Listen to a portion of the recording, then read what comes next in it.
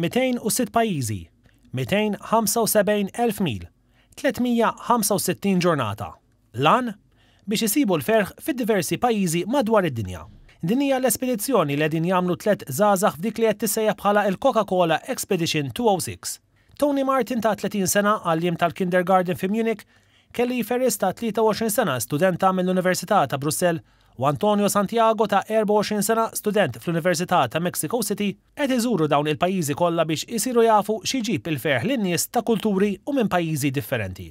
L-espedizzjoni bdiet f'Madrid fl-ewwel ta' Jannar u tintemm f'Atlanta fil-31 ta' Diċembru. Dawn it-tliet żgħażagħ issa jinsabu Malta u fi kliemhom s'issa huma l-Maltin l-iktar poplu ferħan li żaru fl-espedizzjoni. Ooh Malta I'd have to say Malta yeah first impression of Malta is amazing this place is magical umm happiness here Uh, we found out is celebration.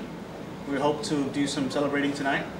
Uh, to, um, what else do we have? Music, uh, What was the thing we had today? Pastizzi, Pa- pastizzi. Pastitu. Mm, Pastizzi. Matul il-wafqa tagħhom f'Malta, it-tliet żgħażagħ żaru l-Imdina għall-pastizzi, ħaġarqin bħala l-aktar maqdeż antik fid-dinja, u l-Belt Valletta.